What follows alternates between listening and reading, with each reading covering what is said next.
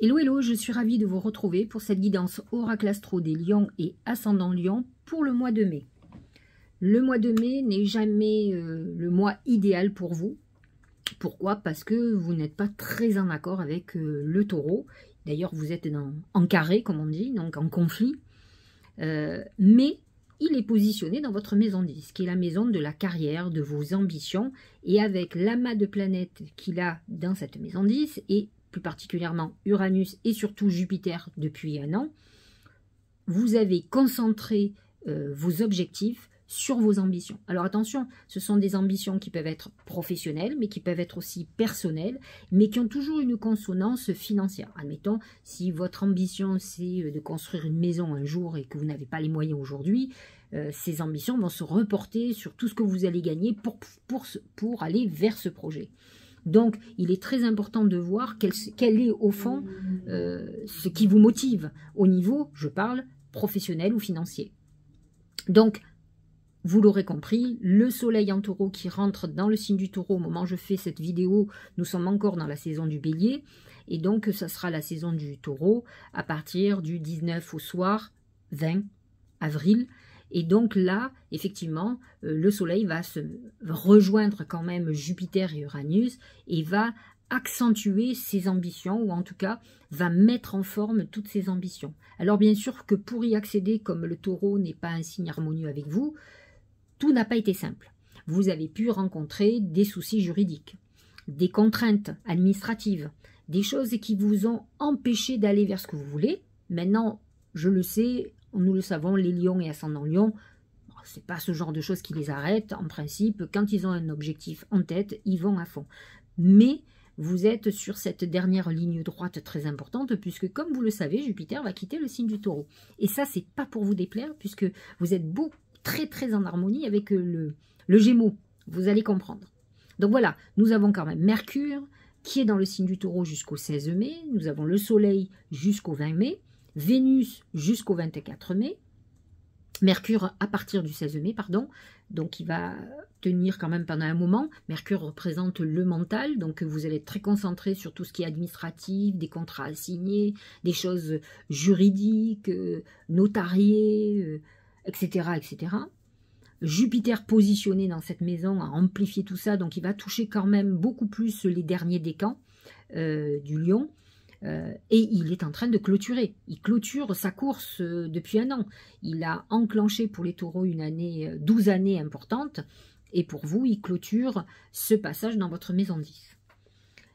À partir du 20 mai, le soleil passe en gémeaux.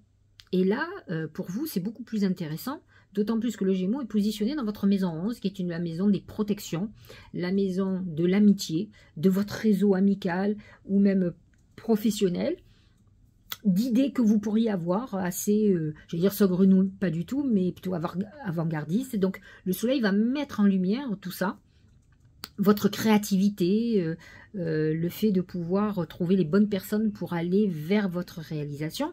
Vénus va rentrer aussi dans cette maison 11, donc pour ceux qui sont célibataires, vous pourriez faire une rencontre par le cercle amical, par les réseaux sociaux, par oui, une présentation où vous pourriez avoir quelqu'un euh, qui est à côté de vous, euh, ami, et qui euh, devienne quelqu'un d'important pour vous, qui, que ça bascule dans une amitié amoureuse. Même si je pense que les lions et ascendants lions ne sont pas faits pour ça, ils sont faits quand même pour des histoires très passionnées. Ils ont besoin d'aimer profondément, d'admirer profondément pour rester avec quelqu'un. Alors, je vous disais que Jupiter va quitter le signe du taureau. Et ça, c'est très très bon pour vous. Euh, il va rester dans le Gémeaux un an. Hein, il va rentrer fin mai, là, le 25 mai exactement. 26, euh, si vous voulez. 26 à minuit. Comme ça, on est, on est recta. En plus, c'est vrai, c'est 26 à minuit. Il sera à 0 degré. Il va avancer jusqu'à 1 degré. Donc, il touche les lions de juillet, mais les premiers, c'est-à-dire 23, 24 juillet, hein, ceux qui sont nés à ces autres-là. Et là, Jupiter, qui est déjà euh, le symbole de Dieu, c'est Zeus dans la mythologie, va complètement vous protéger, vous protéger sur vos projets, va vous apporter les aides nécessaires, qu'elles soient spirituelles ou concrètes, bien terrestres, c'est-à-dire des gens qui vont vous tendre la main pour des promotions, pour vous aider à avancer, vous allez euh, avancer.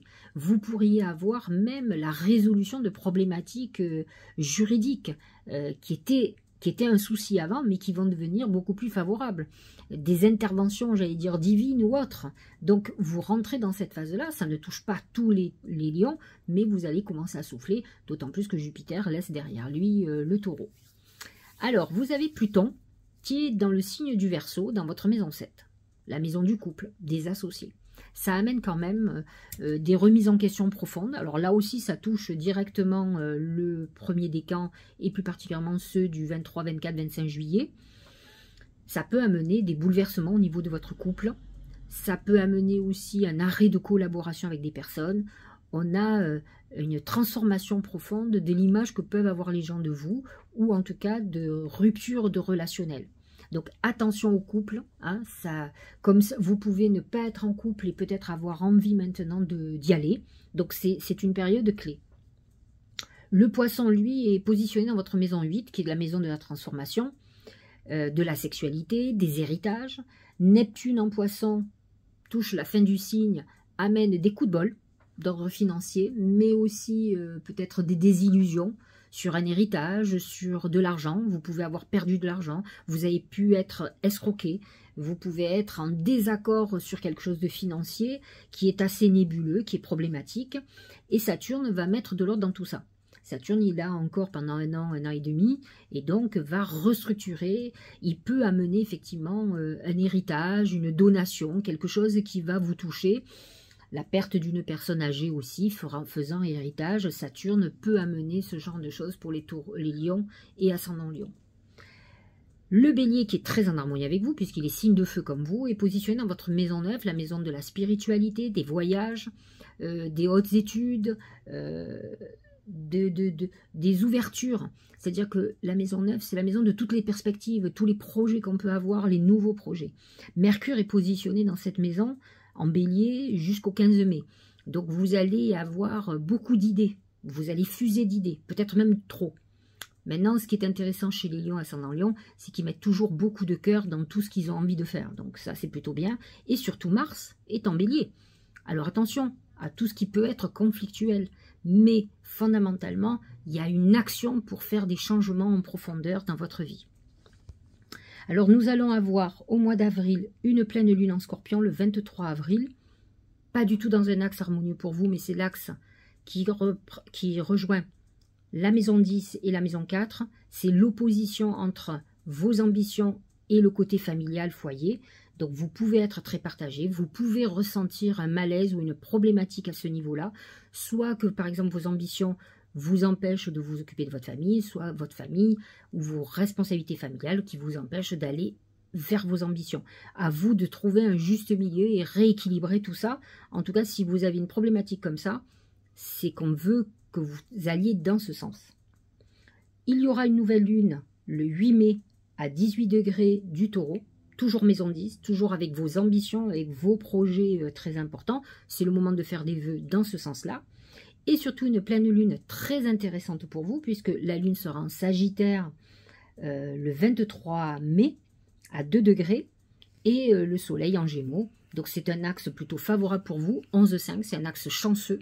C'est un axe qui vous aide à, réalisation, à réaliser vos voeux, qui vous protège, qui vous apporte de l'amour aussi. C'est un, très bel axe au niveau relationnel, amoureux ou amical, mais c'est aussi un axe qui, euh, comment dire, est très influencé par nos protections, par les gens qui peuvent nous aider sur cette terre, j'allais dire, euh, quelqu'un à qui on va demander un service, etc.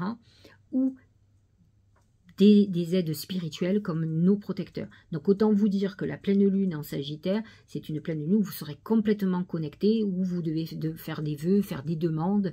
C'est le moment euh, les, anges gardiens, si on peut dire ça comme ça, nos protecteurs, nos défunts, sont complètement à l'écoute et vous euh, devez les utiliser. C'est un conseil que je vous donne. De toute façon, ils sont là pour ça. Ils sont là pour nous guider et nous aider. Et vous, vous serez dans une configuration exceptionnelle à ce niveau-là, qui fait qu'ils seront peut-être encore plus à l'écoute pour vous que quelqu'un d'autre. Alors, nous allons regarder ce que disent nos oracles. On va commencer par le mien, l'oracle magique du mar de café. C'est le singe. Alors, voyez, euh, ce qui me plaît dans le singe, vous voyez ce singe qui se gratte la tête et qui est devant l'argent. C'est le singe symboliquement représente tout ce qui est euh, la roublardise, les gens qui sont un peu les manipulateurs, les, les petits escrocs, pas obligatoirement les gros, mais les escrocs, les gens qui veulent vous abuser. Donc faites très attention, vous pourriez avoir affaire à quelqu'un d'une manière ou d'une autre. Hein qui en veut à votre argent ou qui veut vous faire signer quelque chose qu'il ne faut pas signer. Euh, faites attention à vos investissements. Faites attention comment vous mettez votre argent. Si vous devez faire des travaux, faites très attention aux gens qui vont vous faire des travaux.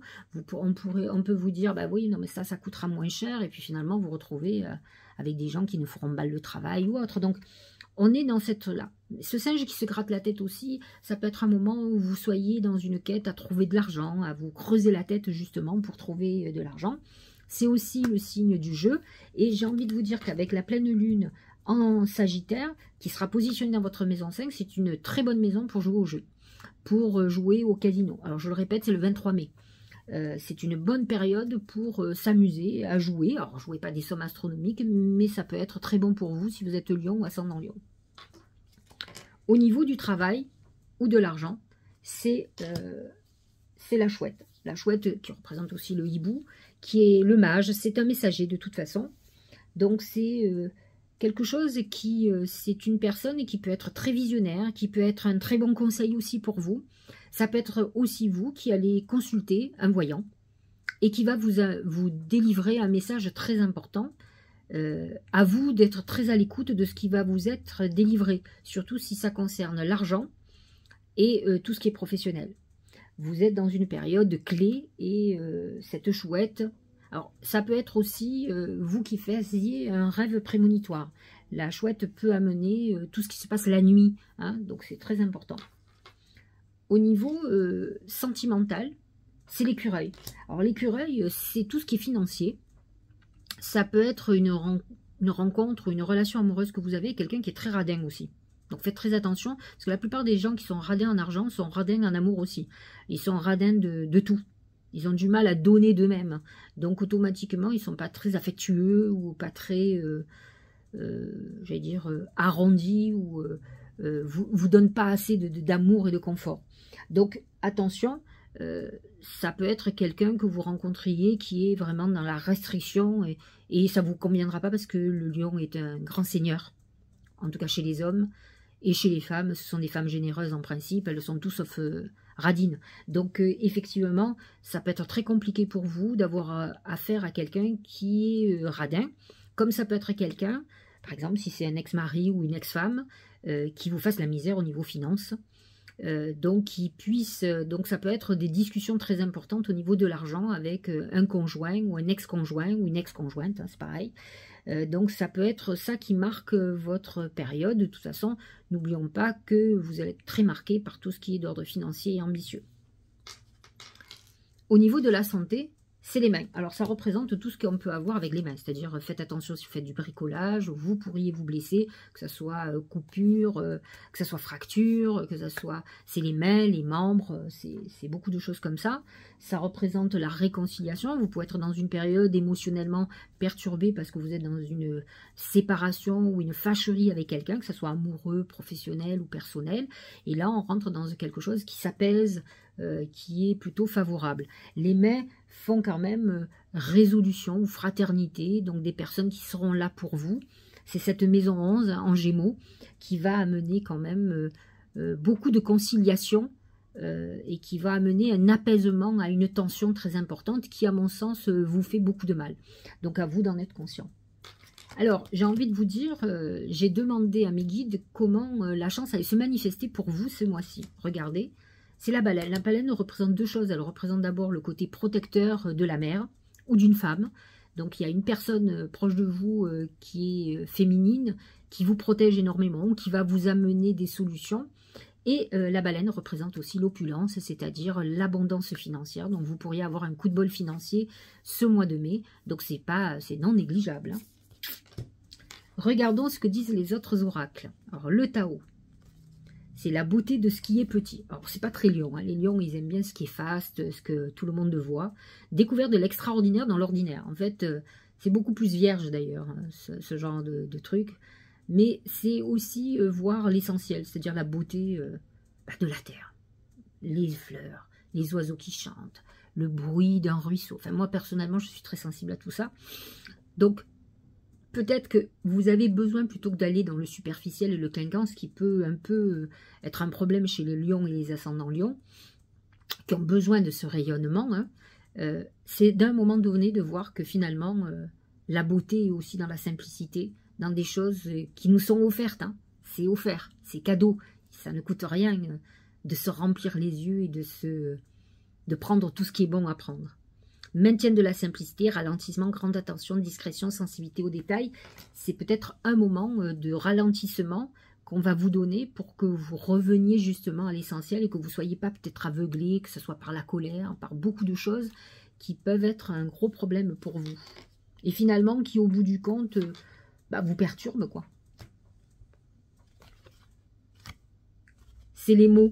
Bah, en principe, c'est Mercure, mais hein, on va en parler. Le succès va dépendre d'un état d'esprit positif et de l'emploi de certains mots qui vous utilisent. Alors ça, le lion et les ascendants lion, ils ont une grosse problématique avec la manière dont ils vous disent les choses. Un peu comme les béliers. Ils sont souvent sans filtre. Alors vous le prenez comme vous voulez. Ils ont tendance à oublier rapidement, ou à ne pas être rancuniers, ou, euh, et à accepter euh, à l'inverse euh, qu'on leur dise ce qu'on a à leur dire, même de façon brute. mais le lion euh, peut avoir une problématique pour exprimer les choses. Il est souvent en colère, euh, il peut être très impulsif, euh, aveuglé par certaines choses et peut-être même manquer de discernement. Donc attention, alors Mercure est en taureau justement et en désaccord avec vos ambitions, donc vous pourriez avoir des impulsions ou des colères qui sont parce que les choses ne tournent pas comme vous voulez et que vous trouviez responsable qui vous voulez. Mercure aussi est en bélier avant jusqu'au 15 mai, donc peut amener de grosses colères. Mercure en bélier, c'est l'impulsion euh, des mots, des paroles, et derrière avec Mars en bélier, des actes. Donc attention, attention, euh, essayez de ne pas être trop impulsif ou impulsive. La source intuitive pour terminer. Écoutez votre cœur. Bon, ça, le, vous savez que le lion est dirigé, euh, c'est le cœur, c'est le chakra du cœur. Hein. Et votre intuition ouvre la voie royale de grande réussite. Et en fait, euh, bien sûr que le lion est un animal. Astrologiquement parlant, il fait partie des rares animaux euh, qui représentent le zodiaque. Donc il est instinctif. Mais l'instinct peut être l'intuition, mais ça peut être aussi l'instinct animal qui ne réfléchit pas à ses actes, comme le bélier d'ailleurs, qui est aussi un animal. Donc il faut faire très attention parce qu'à la fois l'instinct de cet animal peut être complètement intuition, mais peut être complètement de l'instinct pur et simple animal motivé par la colère et non pas par la réflexion. Donc c'est ce qu'on vous dit, allez à la source intuitive, laissez les colères de côté, les peurs, les angoisses et réfléchissez calmement pour ne pas faire d'impair. Ce mois-ci, ça peut être le cas. Donc attention, parce que je trouve que dans la globalité, vous avez un mois plutôt intéressant. Et en plus, l'arrivée de Jupiter en Gémeaux va beaucoup vous aider. Vous allez être dans une année très chanceuse. Maintenant, on n'y est pas encore et vous pouvez être encore dans des colères parce que le taureau ne vous a pas aidé. Il est en conflit avec vous. Donc, à vous d'avoir cette lucidité, de voir les choses telles qu'elles sont. J'espère que cette guidance vous aura éclairé. Je vous souhaite de passer un très bon mois de mai. Je dis toujours euh, joli mois de mai. De toute façon, on a plein de ponts. Donc moi, rien que pour ça, j'adore le mois de mai. Je vous embrasse et puis euh, bah, je vous dis à très bientôt.